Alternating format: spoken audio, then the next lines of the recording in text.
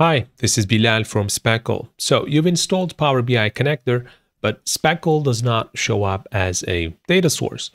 In this quick guide, I will show you the reasons why it might be happening and the solutions.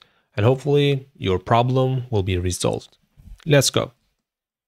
First, I want to quickly show that I actually have the Power BI connector installed because it does show up as installed under installed applications menu.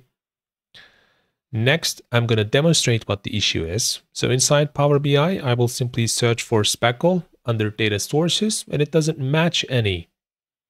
And this usually happens for two reasons. The first one is the connector actually did not get installed to the correct location. Uh, the location Power BI looks for custom connectors is here. Documents, Power BI Desktop, and Custom Connectors. You should see speckle.pqx file here. Uh, if you don't see it, then search for speckle.pqx file and copy paste it into this location. So you see the speckle.pqx file here, but the speckle connector still does not show up as a data source. This is likely the reason why it doesn't happen for most of you, and it's the configuration of Power BI. So by default, Power BI only uses its out-of-the-box data sources.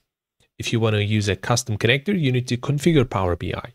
And the way you do that is by going to File, Options and Settings, and Options.